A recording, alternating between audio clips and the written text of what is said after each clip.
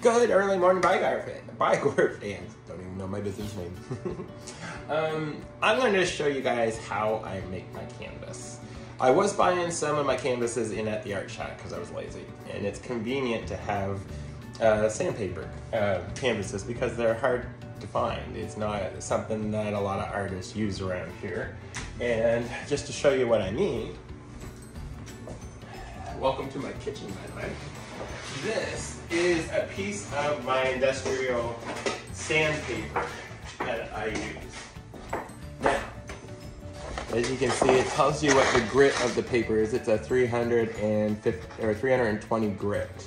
Um, and it, it can get scratched, but that's okay. It, it, as long as it's not a deep scratch, it doesn't affect my painting. So what I do next is I take this piece of sandpaper and I turn it upside down, not to scratch my countertop here, or my island that Jeremy made. Now, then I take one of these styrofoam boards. Um, I do this to make it easier for the framer who actually frames this for me. Because if I leave it in this state, it can curl and it can cause the pastel to crumble that's within the tooth of the sandpaper. So if I do that, there's a chance that I'm gonna ruin my painting if I don't do this step.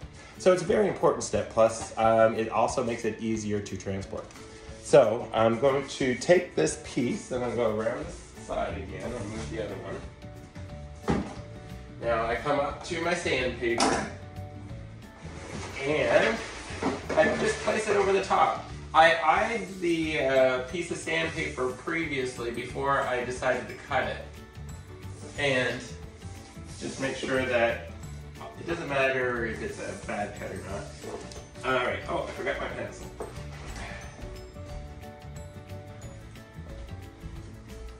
So then I take my canvas, pop it down, make sure it's there. Flush to the edge because you don't want excess because then you gotta cut it off and it's a pain in the butt. Move that over here. All right, I have my line. And I'm just gonna take my pencil and I go down and make a, a line through it. Now, I wanna remove this cardboard styrofoam, take my trusty scissors, put it on top of the board to help prevent me from ruining my counter, and I'm gonna cut right through the line. Now what's really cool about this is I'm cutting with sandpaper which sharpens my scissors each time I do it. Now, it gets tricky cutting sandpaper because it wants to curl and it's very hard. So you gotta be careful. But just take your time. And this is the hard part. Get it. There we go. Now, this is still a, another piece that I can use for anything really. I could get a whole bunch of small ones. I can get one nice size one or a medium size. So I, I keep all of these and I just put them aside. Now, here is the part is not the best. Now, I'm going to stop the video and I'm going to go outside and spray my cardboard and my sandpaper on one side each. Obviously, I, am going to put it on the inside of the sandpaper and put it on the outside of this. And then I let it set for about five minutes because I want it tacky. And it's not dry yet, but it will be very shortly. So this gives me an opportunity to quickly adhere the sandpaper to uh, the styrofoam cardboard. So I'm gonna go outside and do this very quickly. It's cold because it's very early morning. I have the lights on in here. We don't have much daylight outside. And I will be right back. Stay tuned. Welcome back, guys. I'm back from outside.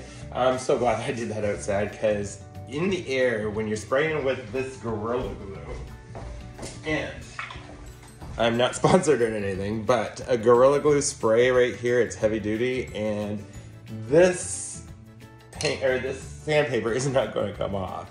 And the reason I do it outside again is because now in the air, this Gorilla Glue, it gets in the air. It's very fine and it gets everywhere. So if you're doing this inside your house, you're gonna get glue everywhere and it's gonna make a mess because this does not come off actually at all that I know of without like an, an industrial remover. So I'm going to show you what I do next. So, let me get this chair anyway. Now, this looks a little warped. That's okay. Um, that's going to happen whenever you spray your cardboard uh, styrofoam. It will go back to its shape. Don't worry. It doesn't. It doesn't ruin it. So let's move this up. Ah, I already touched it. I'm getting glue everywhere. So now comes the tricky part. I have this cut wash, but this is so hard to do. So it's best to try to bend it the other way so that when you do this, try to get your straightest corner.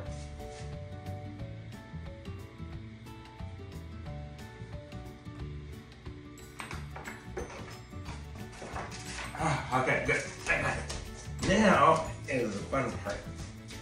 Now we're gonna get that down like that.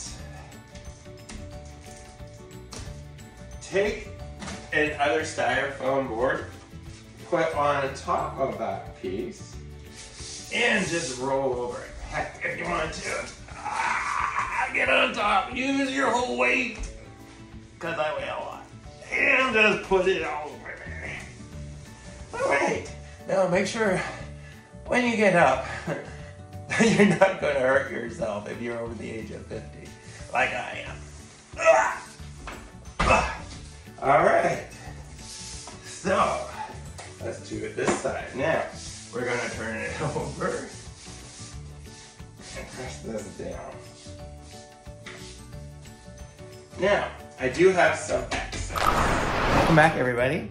Um, I'm done. So it was that fast, it was that simple. I now have my sandpaper glued to my uh, board, and now I can start doing an outline sketch of what I'm gonna be working on next. Stay tuned, and uh, thanks for watching. Bye.